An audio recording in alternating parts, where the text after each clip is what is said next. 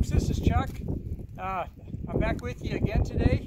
It's still, this is still Saturday, November 12th. And uh, over here today, we're, uh, I'm a member of the Historical Society. I think I mentioned that in a previous video. And one of my jobs is the caretaker of the old fire truck today. So I'm going to start it today. I have a cameraman that's helping me. And we're going to go ahead and start it up and see if it's going to run today. So I'm going to walk over here. I got to unlock the gate.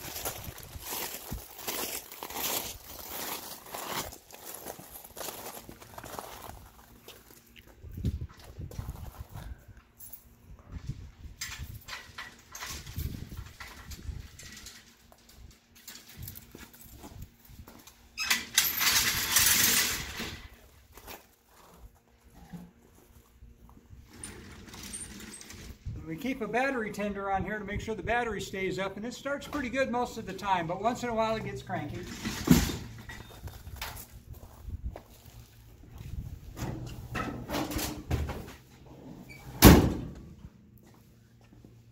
Okay, now we keep our fingers crossed and make sure this thing's going to start.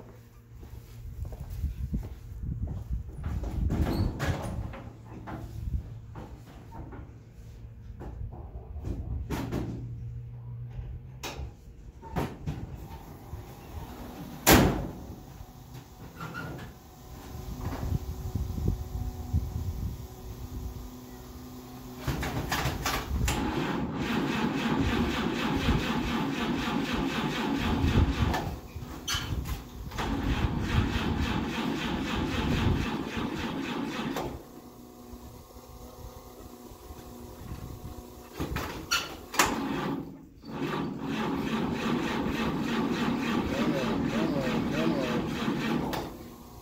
Maybe not.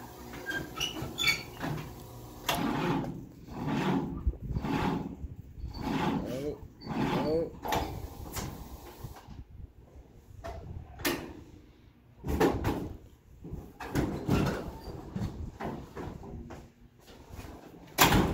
Well, this old truck decided it didn't want to start today, and it's 76 years old, so I get or 79 years old. It's been here 76 years, so maybe that's a good, uh, maybe it has a good enough reason not to want to start. So I'll go ahead and shut the video down for now, and uh, we'll try it again some other time when the weather's better.